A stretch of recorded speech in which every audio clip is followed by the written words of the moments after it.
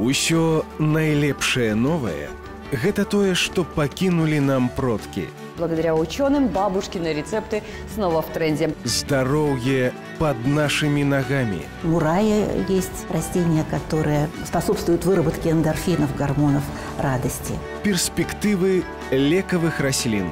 Биотехнологический способ наработки биомассы клеток лекарственных растений – это перспективная альтернатива традиционному лекарственному сырью.